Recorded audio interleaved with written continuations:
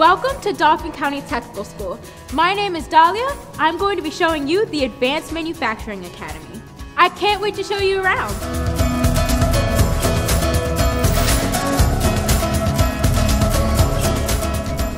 Hello everyone and welcome to Precision Machining Technology. Almost every object you see in the world contains parts that were created by machinists, from the parts of a car engine to the case of your cell phone. Machinists design and create the objects that we depend on every day. Machinists take a blueprint of a design and figure out the best method to turn that design into reality. You are probably wondering what this program of study does. Well, I'm here to tell you. What they do are manual and computer numerical machinery and experience. This is our welding station. Our students learn welding from our skill and opportunity right out into the job force. These are our milling machines. They're for cutting the face and sides of pieces of metals. These machines can cut one one thousandth of an inch, which is half the size of a human hair. Imagine that!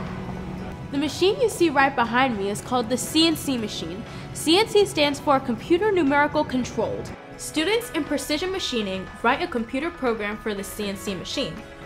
The computer program tells the machine when and where to cut and drill to produce the product. The CNC machine can produce an array of machine parts, from car manufacturing to space shuttle parts. Now, how amazing is that? The types of students we are looking for pay great attention to detail, have excellent math skills, and love teamwork.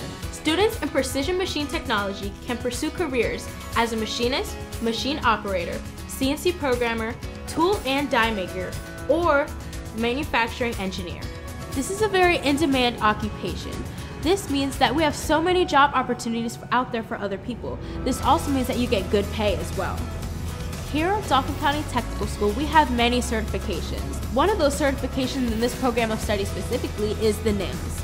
NIMS stands for National Institute of Metalworking Skills. Just like all the other certifications, this one you must earn. This is Precision Machining Technology. Test your metal and find your direction.